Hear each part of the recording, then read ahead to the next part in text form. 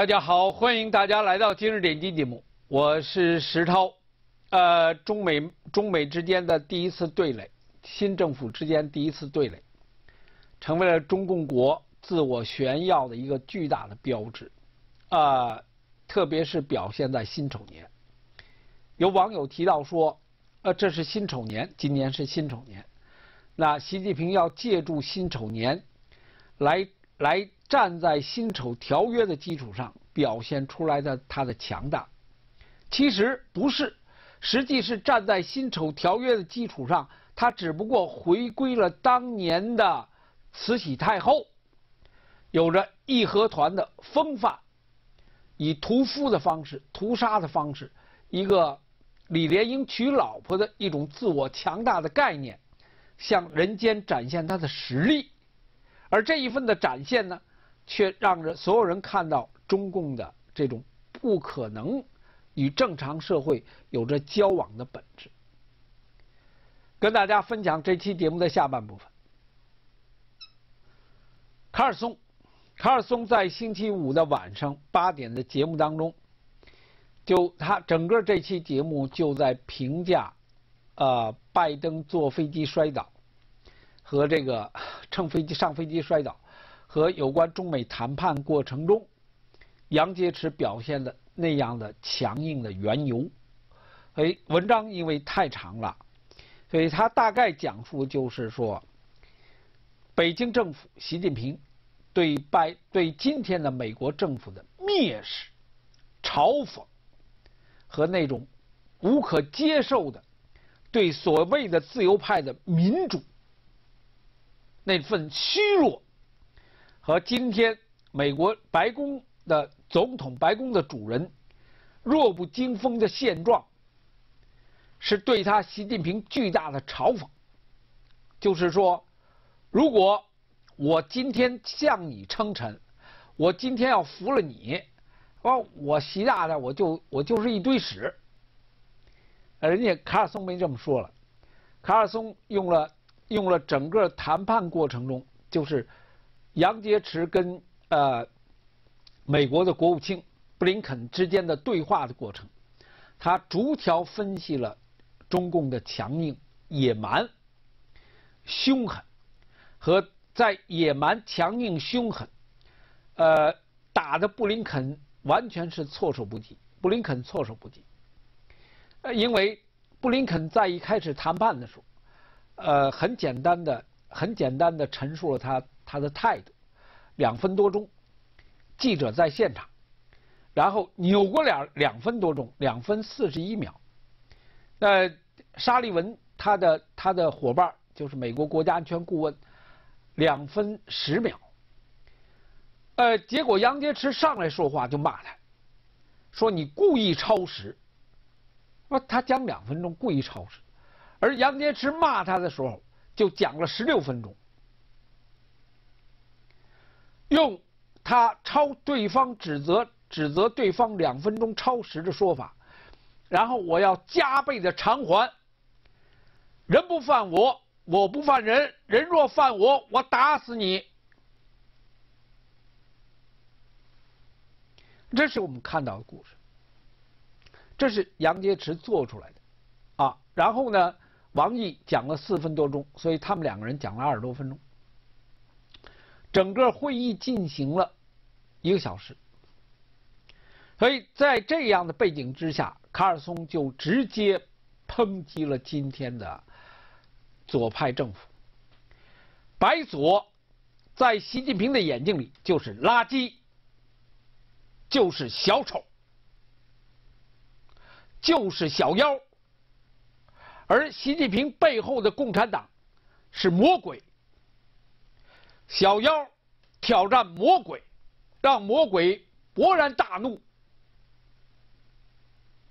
而你左派推行的一切，你的生命的基础在人共产党那儿，而你今天还坐在我面前想跟我喝三呼六的，你们家的总统怎么来的？他自己清楚。妈，这话是这么回事啊？你总统怎么来的？你自己清楚。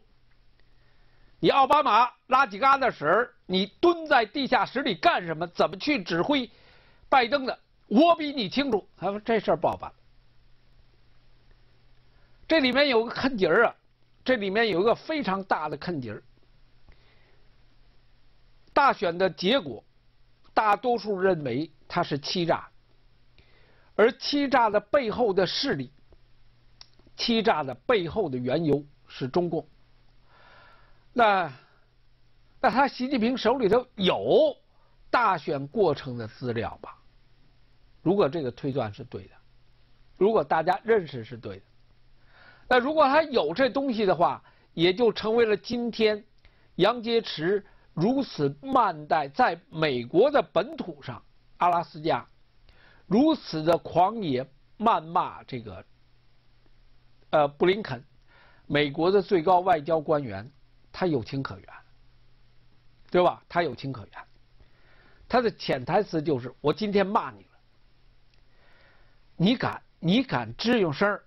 我就把资料给你放到网上去，这是事实啊。那网络攻击是美国是中共国很强项的东西，对不对？在网络攻击的背景之下，在揭示着奥巴马如果真的揭示出奥巴马、民主党所有左派势力如何勾结在一起，通过什么具体手段来左右大选结果的话。那今天的美国政府将如何应对呀？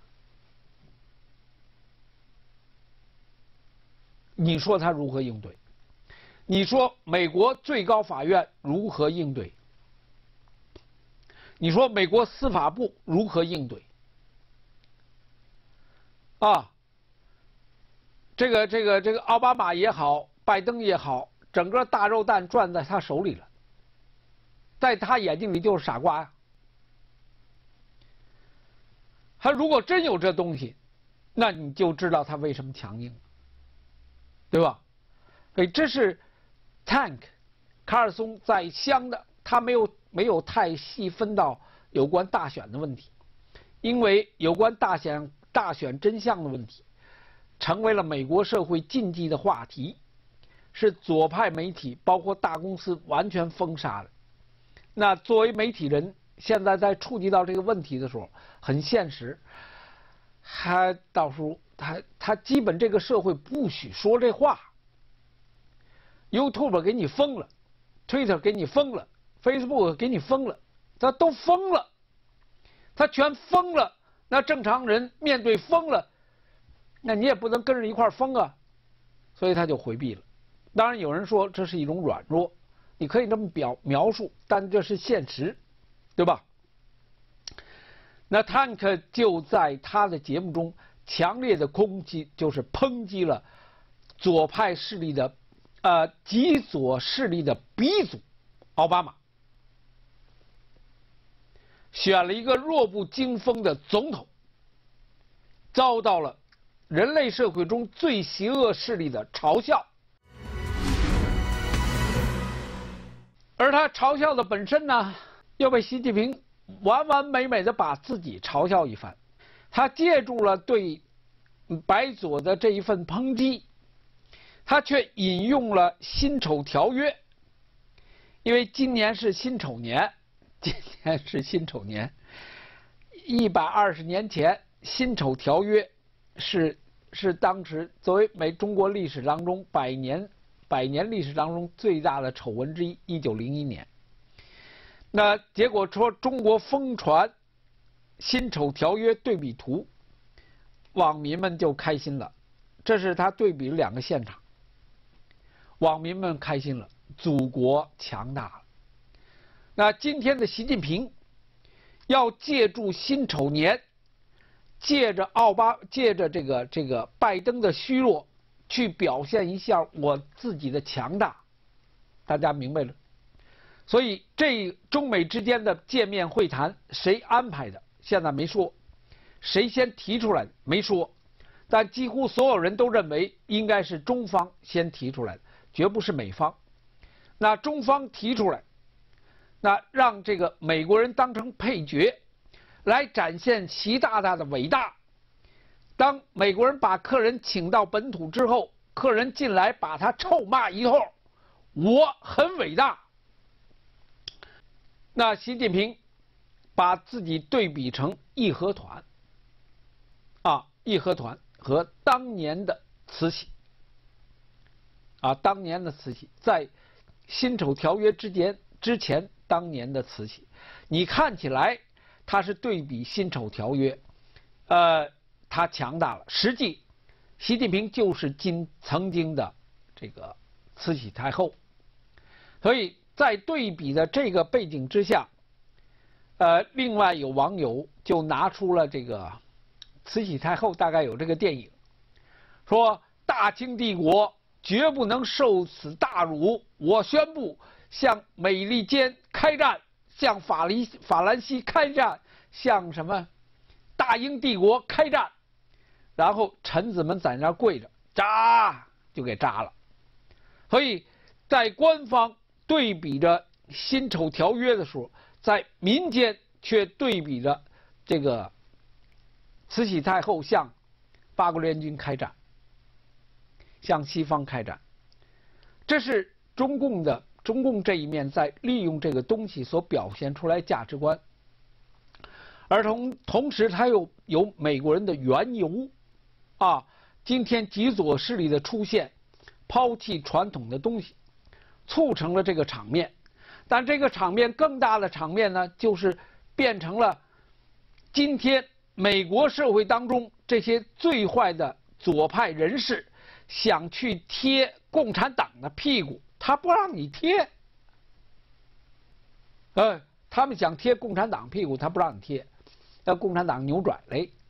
所以就形真正的更大的场面就形成了，呃，客观的形成了共产党是孤立的。那好，这期节目就到这里，谢谢大家，再见。